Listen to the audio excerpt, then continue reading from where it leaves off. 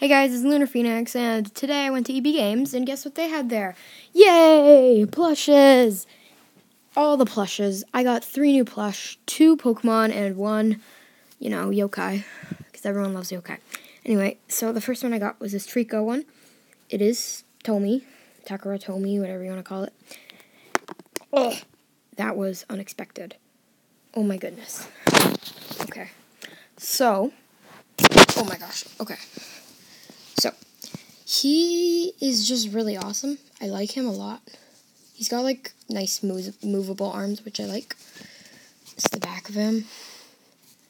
So yeah, I got him, and it's I don't like the place of this. Maybe it could have been near the butt. Maybe uh, like in there. It could been where the tag was, but they had to choose there, which is really annoying. But yeah, there is Treecko.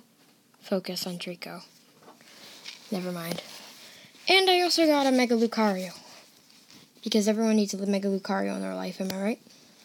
So, this is a Mega Lucario. And, yeah. I really like him. He's another Tomy. Because those are the only ones they sell in store. I don't get why he's smiling, but from like this angle, he doesn't look smiling, which is cool. In this angle, he just looks smirking. And yeah, there is him. Okay, let me go get the third one.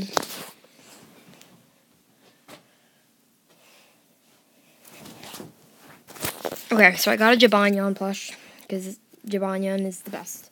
Already had little Komasan here, so now I have a little Jibanyan to accompany him.